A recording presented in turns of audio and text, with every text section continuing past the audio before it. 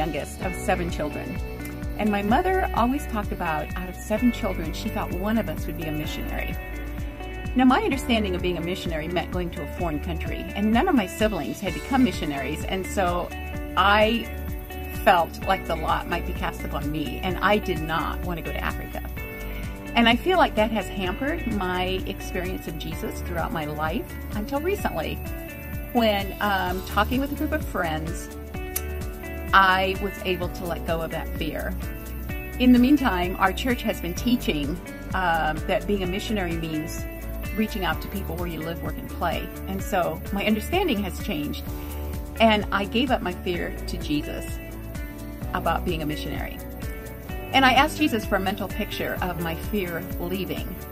And he gave me a picture of a roll off dumpster going down the road, piled high with my fears. As we were getting to know our neighbors, we decided that one of the cool ways would one of the cool ways to get to know our neighbors would be to have a fire pit.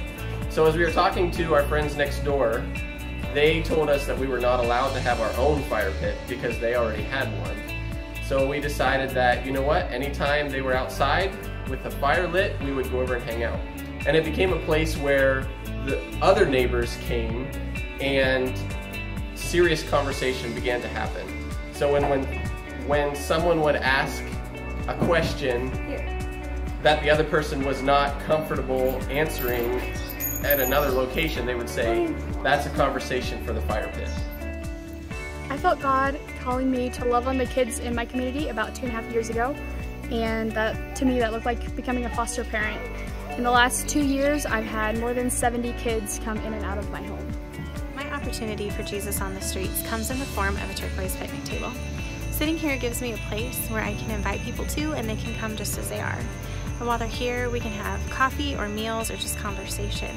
It's also really easy for me to invite my neighbors and my community because my picnic table is actually in my front yard. We moved Vacation Bible School from our church building to a community building and 30 kids from our community showed up.